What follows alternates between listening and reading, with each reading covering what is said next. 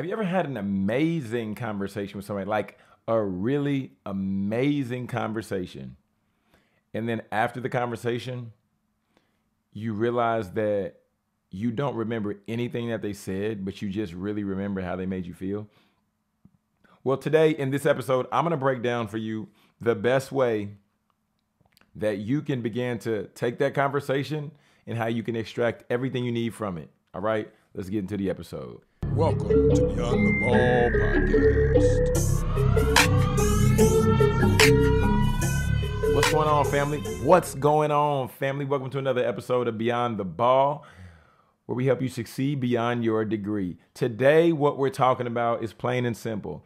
It's something that I was introduced to maybe like three years ago, but an informational interview. All right. So, look, check this out. Wait a minute, wait a minute, wait a minute. People always talk about student athletes not going pro and why they can't be successful, but we don't talk about how we can help them get to wherever they desire to get to in the next phase of their life. So I wanted to be a part of the solution and not part of the problem.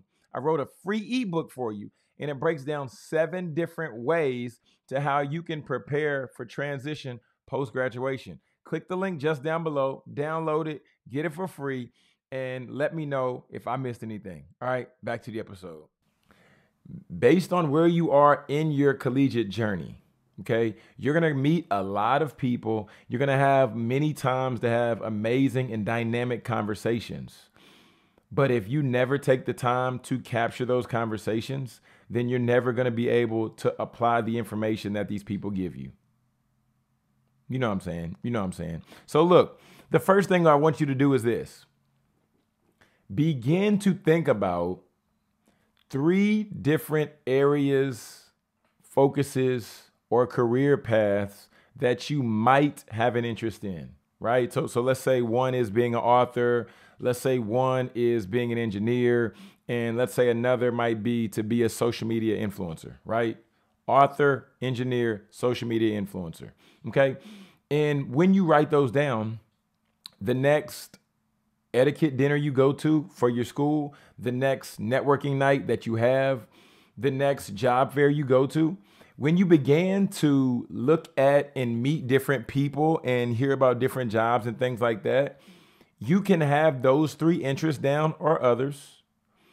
And then when you begin to find people who do those things, right? First thing you need to introduce yourself. Hi, my name is Katie Thomas. Hi, Katie Thomas. I'm Jonathan. Nice to meet you.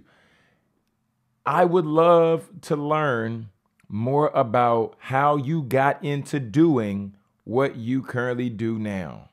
And they say, Katie, that was a great question. And then they'll begin to explain. But before they get there, you say, hold on, wait one second. Do you remind, do you mind if I record this conversation? More likely than not, they'll say, no, it's not a problem. You just want to let them know that you really value what they're saying and you want to make sure that you apply the information that they share. So now this is when you pull up your phone and you open up the voice memo app, okay? And then you hit record and then you hold it up as they speak. As they share, you listen. You don't interrupt them. You listen, you listen, and you listen. All right? And then you listen some more. And then after that, you say, Thank you for sharing that information with me. Of course, if you have any questions, this is the time to ask them a couple of questions.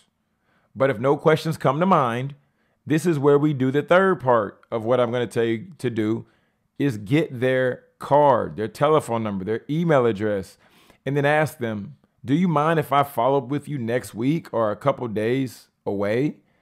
And they'll say, "No, that's not a problem." And then you proceed to either look up some of the information that they shared on how they got started or what they told you to do to get started.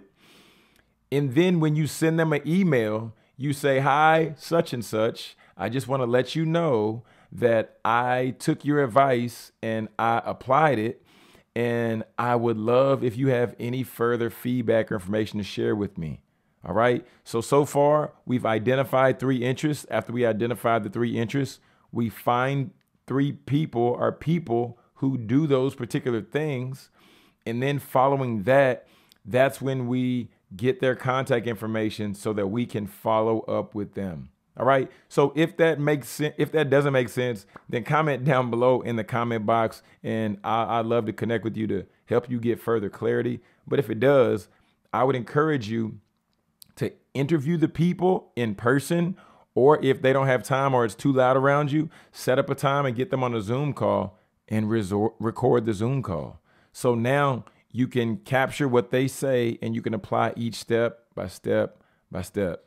This is Jonathan Jones, and this has been Beyond the Ball, where we help you succeed beyond your degree.